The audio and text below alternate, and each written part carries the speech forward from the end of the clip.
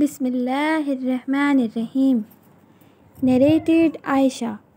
Whenever Allah's Apostle sallallahu alaihi wasallam ordered the Muslims to do something, he used to order them deeds which were easy for them to do.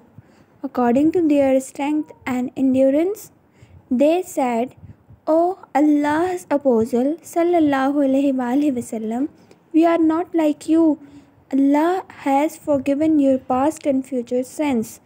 So Allah's Apostle وسلم, became angry and it was apparent on his face. He said, I am the most Allah fearing and know Allah better than all of you do. Sahih Bukhari, Hadith number 20.